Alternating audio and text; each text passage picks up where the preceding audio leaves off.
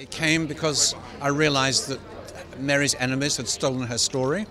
So I went back to the archives, to the actual original 16th century sources, to find out, you know, the truth. And it was just different to the version of history that had come down to us, because her enemies put out what today we'd call alternative facts.